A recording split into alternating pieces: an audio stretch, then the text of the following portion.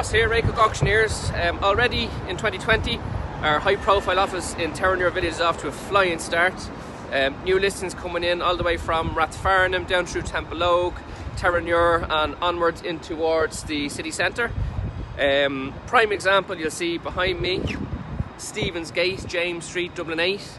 We've just sale agreed this two bed unit for our client at 23% above the guide price. We had huge interest in this one. Um, 38 offers, which brought us, as I said, to a, um, an astounding 23% above the guide price. So clear to see that um, very, very happy client. So if you're considering purchasing or selling in the South City, feel free to contact myself or my colleague Connor Clark through our Terenure office. Have a great day.